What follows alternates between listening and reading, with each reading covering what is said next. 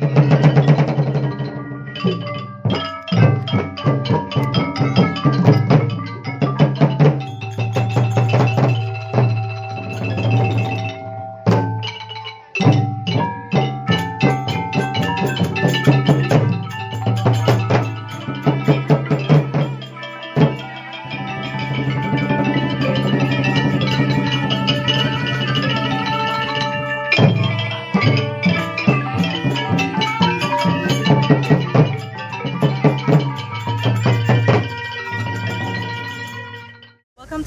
Welcome to Angkor Wat.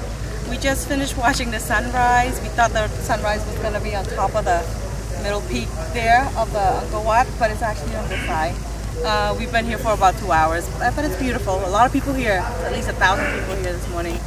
Okay, so Angkor Wat was built in the late 12th century by King Suryavarman number two. Um, that's when he began the construction here. And then he actually lost the war to Champa for a few years. And then General Jayavarman number seven came and defeated the Champa and he became king and he finished Angkor Wat in the 13th century.